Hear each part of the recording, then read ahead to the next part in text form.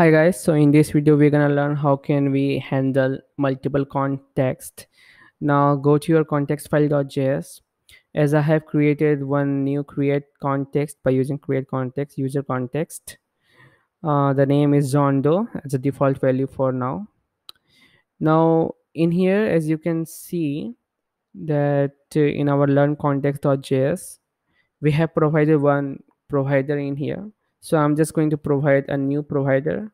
After that that is user context dot provider.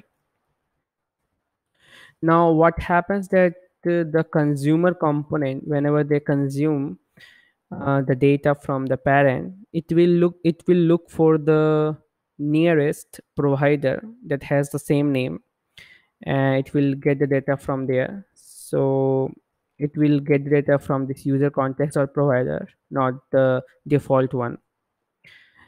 Now just going to wrap it up with this slash user context dot provider.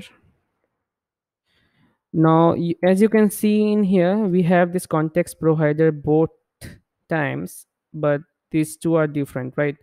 So to distinguish between both you can do one more thing that theme context has that is this display name. So you can just change the name of it just by using this theme. As you can see that the name has been changed. And the same thing you can do for this user context dot display name of course. And the changing the name is user. As you can see the name has been changed. Now go to your button2.js so as i have said that you cannot use this uh, multiple handle multiple context uh, for the class component. So you have to use for this in the functional component of course. Now i have copied it and you're gonna see the tedious part first of all. So first tedious part and then the easiest part. So in here we have to provide two or one more consumer that is user context. So the the uh, the writing way of this is very like it's very bad. So let's bear with it. Now what going to go next is this that after this we are going to provide again this user context dot consumer. Okay? So again you have to provide this uh, not here of course. This is wrong. As i have said this is tedious so this can be wrong by me also. So after this user context dot consumer it, this is a JSX syntax of course. Now after this you have to provide these curly braces.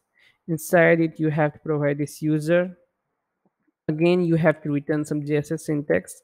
Now you can provide in here this span user slash span and just closing it by this. Now again there is wrong. This is wrong. So what's the wrong is that you cannot do it like this. You have to provide or you have to give all the JSX syntax at one position and I also haven't closed it of course. So as I can see if you just give it like this there is an error also. So you have to provide it in one place. So by doing this you will see that yeah this is how we can do this. So as you can see this is a tedious part so now we are going to move on to the easiest part. How can we do this? So i'm just going to copying it the same thing.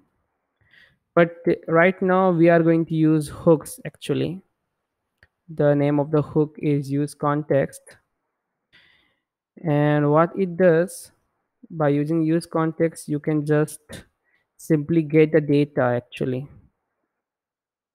And simply getting the data means I'm just going to comment out of course this code also.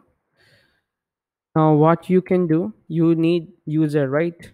So just use react dot use context and give the name of the context that you want to use that is user context. And I'm going to destructure in here the properties that I need like toggle theme from where? From react dot use context. And the name of the context is theme context. And again as I have said we don't need this part. We just need the JSX syntax we don't need these parts. Just removing these parts also. And now just closing this tag now uh, as you can see we got the theme we got the toggle theme. As you can see this is working. And just giving the name in here span user slash span. Yeah that's it. That's what we need. As you can see it's working good now in here you have understood the context and its apis so be careful whenever you want to use it. And yeah so let's see in the next video what we have. That's all. Thanks